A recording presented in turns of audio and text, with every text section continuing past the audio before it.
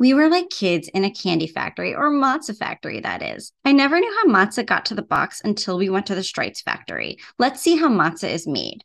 First, 50,000 pounds of flour are stored in these silos. Water sits in those big containers until it's time to head up to the mixing room. In order for matzah to be kosher for Passover, it has to be made in 18 minutes or less. The clock starts once the flour is mixed with water.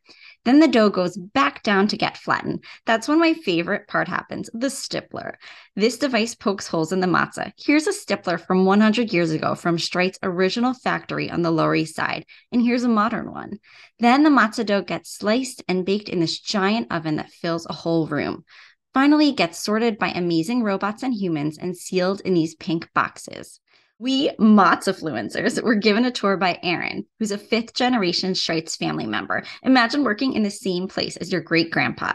I love supporting a family business. Plus, this year Streit's boxes got even cooler because they also feature PJ Library.